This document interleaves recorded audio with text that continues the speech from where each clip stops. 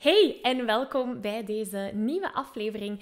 Deze aflevering is uniek in de zin dat ik iets heel speciaal met jou ga delen. Want wat er gaat volgen is eigenlijk een stukje uit de Zelfzekere Zanger Bootcamp. De Zelfzekere Zanger Bootcamp is een online event voor zangers die een paar maanden geleden heeft plaatsgevonden. En normaal deel ik dit niet. Um, met de mensen die zich daarvoor niet hebben aangemeld. Maar wat er in die bootcamp gezegd geweest is en geleerd geweest is, is volgens mij zo waardevol dat ik toch een uitzondering maak en stukjes van die bootcamp um, ga delen. Waaronder deze aflevering hier. Dus ik zou zeggen, geniet ervan. En uh, ja, als je graag meedoet met de volgende bootcamp, in de beschrijving hieronder kan je de link er naartoe vinden om jou op de wachtlijst te zetten. Dus uh, veel plezier.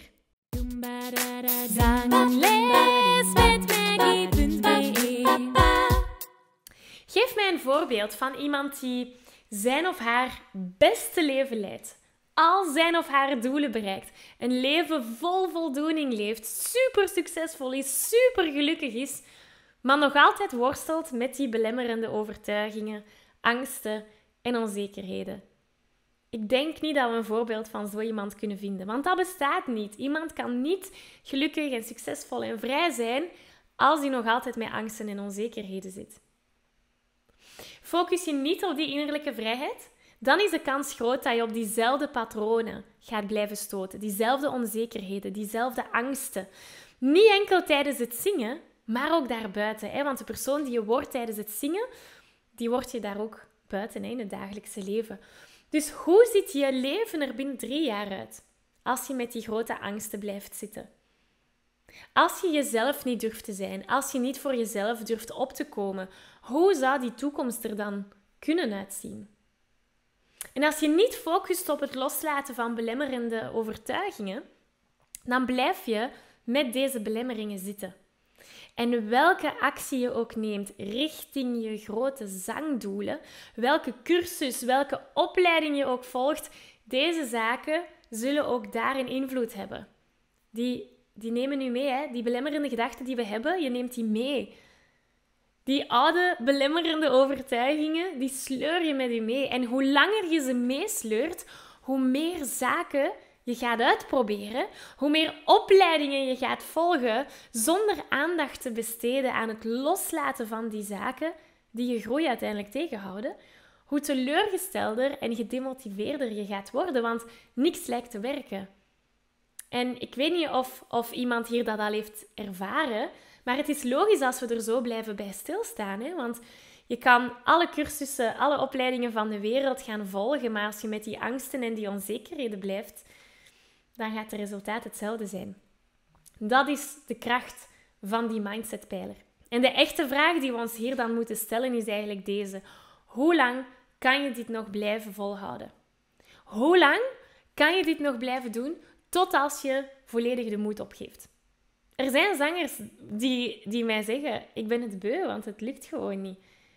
En dan werken we een beetje samen en dan gaat het allemaal weer beter. maar sommige zangers die, die geven op op hun passie en dat is zo spijtig. Want er bestaan altijd oplossingen. Dus veel zangers zeggen dan van ja, Maggie, ik ben klaar om met meer zelfvertrouwen door het leven te gaan. Maar dan zeggen ze van oké, hoe? Hoe kan ik die zelfvertrouwen gaan voelen? Hoe kan ik die zelfvertrouwen gaan ontwikkelen? Dus laten we samen op zoek gaan naar het antwoord op die vraag. Dat is waarom dat we hier zijn. Laten we eens kijken naar hoe je kan groeien naar meer zelfvertrouwen. Deze piramide die komt trouwens ook tevoorschijn in module 1 van Van A tot Zingen. Maar deze piramide geeft u een prachtig overzicht van hoe je zelfvertrouwen tijdens het zingen kunt beginnen opbouwen. Je moet weten dat we vaak aan de voet van de, de piramide gaan starten. Dat is onwetend. We zijn ons niet altijd bewust dat bepaalde onzekerheden of belemmerende gedachten ons kunnen tegenhouden in ons zangavontuur. Of als we teruggrijpen naar de metafoor van daarnet, we zijn ons niet altijd bewust dat onze handrem nog op staat wanneer we met de auto willen beginnen rijden. En ons, ons doel hier is om die handrem los te laten en het gaspedaal in te drukken. Dat is het idee erachter. Dus door zaken bij te gaan leren, bepaalde dingen over onszelf te gaan ontdekken, worden we meer en meer en meer bewust van de wereld om ons heen. En eigenlijk ook onze innerlijke wereld. Op dat moment kunnen we de handrem loslaten en zo snel rijden met onze auto als we willen. Nu, om daar te geraken, moeten we een paar essentiële elementen gaan overlopen. En het eerste element is verantwoordelijkheid. Verantwoordelijkheid zorgt ervoor dat je jezelf niet meer gaat zien als een slachtoffer. Dus het zorgt ervoor dat je sterk in je schoenen kunt gaan staan. En superbelangrijk als je ook sterk in je schoenen wilt kunnen staan tijdens het zingen bijvoorbeeld. Dus wanneer je 100% verantwoordelijk bent voor je leven, voor je stem, voor, voor het zingen, dan zorg je ervoor dat jij aan de oorzaak ligt van alles wat er gebeurt in je leven. Een voorbeeld. Hè? Stel je doel is om ooit voor een publiek je eigen nummers te kunnen gaan brengen. Iemand die in de slachtofferrol blijft zitten, die gaat wachten totdat iemand hem of haar uitnodigt op een event om te komen zingen. En als die uitnodiging maar niet komt, gaat de persoon in zijn slachtofferrol gaat zeggen van ja, maar ik heb geen uitnodiging gekregen, ik kan nergens gaan optreden, niemand nodigt mij uit. Dus de persoon in de slachtofferrol gaat de schuld bij een ander leggen. dus die zou denken, ja, maar ik heb nooit de kans gehad om voor een publiek te zingen. Of geen enkele organisator heeft mij ooit gecontacteerd. Dat is de persoon in zijn slachtofferrol. Nu, iemand die 100% verantwoordelijk is, die gaat anders te werk. Deze persoon die gaat er alles aan doen om dat doel om voor andere mensen eigen nummers te gaan zingen te gaan bereiken. Dus deze persoon die gaat bijvoorbeeld covers online posten zodat er wat naambekendheid ontstaat. Of die gaat in lokale cafés optreden. Of die gaat bepaalde woonzorgcentra aanspreken hè, om te komen zingen. Misschien ehm, gaat die persoon zelfs een website uitbouwen, zodat mensen hem snel kunnen terugvinden. Deze persoon die zorgt er zelf voor dat hij of zij voor een publiek kan gaan zingen. Zie het verschil. Dus de persoon in zijn slachtofferrol, die wacht maar af tot de kans zich aanbiedt en die legt dan de schuld bij een ander. De persoon die verantwoordelijk is, 100% verantwoordelijk, die gaat het hef in eigen handen nemen. Dat is het grote verschil tussen de twee. Nu, een volgend element dat heel belangrijk is, is dat van onze overtuigingen. Bewustzijn van onze overtuigingen zorgt ervoor dat we niet meer blind rondlopen. En dat we helder kunnen inzien waarom we bepaalde angsten, waarom we bepaalde twijfels of onzekerheden hebben. Zowel tijdens het zingen, weer al, als daarbuiten, in het dagelijkse leven. Dus laten we daar even bij stilstaan. Wat is een overtuiging? Een overtuiging, dat is iets dat jij als de waarheid ervaart. een voorbeeld, stel je zingt voor een publiek en je maakt een fout, er mislukt iets. Heel veel onwetende zangers gaan dat heel persoonlijk opnemen. En ze denken dan, of ze zijn er dan overtuigd, hè, ik ben een mislukking. Dus de volledige overtuiging is dan, ik heb een fout gemaakt, dus ik ben een mislukking. Dat is iets dat heel veel beginnende zangers gaan denken. Of stel dat je moeite hebt om hoge noten te gaan zingen, dan gaan sommige zangers er snel van uitgaan dat ze een lage stem hebben, of dat ze een alt zijn, of dat ze niet gemaakt zijn om hoge noten te zingen. Maar is dat zo? Ondertussen weet je dat je je stem kunt gaan trainen om die hoge of die lage noten met gemak te kunnen zingen. Dus is het zo dat we ons in een hokje moeten opsluiten en onszelf moeten limiteren? Door onszelf te zien als ik ben maar een lage stem. Dat is een voorbeeld van een overtuiging. Nu, sommige overtuigingen die gaan ons positief beïnvloeden. als jij ervan overtuigd bent dat je iemand bent die heel lief is, die, um, die, die mooi is, dan gaat u dat ook zelfvertrouwen geven, want je hebt dan een positief zelfbeeld. Maar sommige overtuigingen die gaan ons kwetsen. Denk maar aan de overtuiging: het moet allemaal perfect zijn, je mag geen fouten maken. Of de overtuiging: ik ben hier niet goed genoeg voor. Dat zijn kwetsende overtuigingen. Nu, bewust worden van deze overtuigingen die ons kwetsen, die ons verdriet geven, die ons belemmeren, dat kan ons helpen om die te gaan shiften. Dus eerst moeten we bewust zijn dat die er zijn.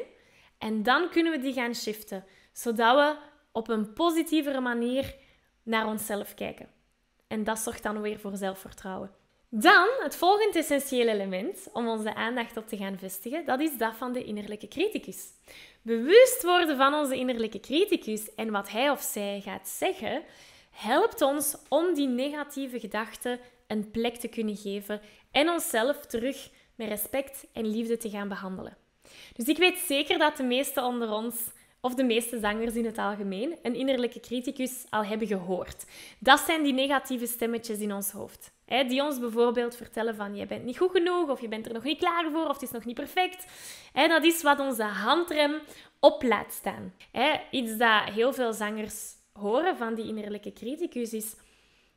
De andere, hè, Adele zingt veel beter als ik. Of, of uh, die noot is te hoog voor jou, je gaat die nooit kunnen zingen. Of um, wie ben jij om de solo in het koor te willen vragen? Dat zijn allemaal um, gedachten die onze innerlijke criticus ons zeg maar kan toespreken. Nu, eens dat we vrij zijn van die negatieve stemmetjes in ons hoofd en we zijn vrij van die twijfels of die angsten of die onzekerheden, dan kunnen we groot gaan dromen. Want als we nog altijd met die angsten of onzekerheden zitten, dan gaan we niet durven dromen. Dus daarom dat de doelen na de innerlijke criticus komen. Dus hier gaan we doelen stellen. Dat is de volgende stap richting bewustzijn en zelfvertrouwen. Wanneer we doelen stellen, is het belangrijk dat ze concreet zijn. Een voorbeeld. Veel zangers vertellen mij dat ze graag met meer zelfvertrouwen willen kunnen zingen. Voor de mensen die lid zijn van onze Facebookgroep, daar is altijd er is een vraag die je moet beantwoorden. Hè, van waar worstel je het meeste mee tijdens het zingen? Eén antwoord die er vaak op komt is: ik wil meer zelfvertrouwen tijdens het zingen. Nu, het probleem daarmee is: hoe weet je wanneer je dat bereikt hebt? Wanneer weet je, nu ben ik er? En, en dat is allemaal mooi en wel, hè, dat we met zelfvertrouwen willen zingen, maar wanneer weet je, nu ben ik er? Dus door het concreet te gaan maken, kunnen we een veel duidelijkere visie hebben. Stel dat je zegt, ik wil kunnen genieten van het zingen voor een publiek van 50 man, want dat gaat mij vertellen dat ik zelfzeker ben. Nu hebben we al iets meer concreet. Zie je?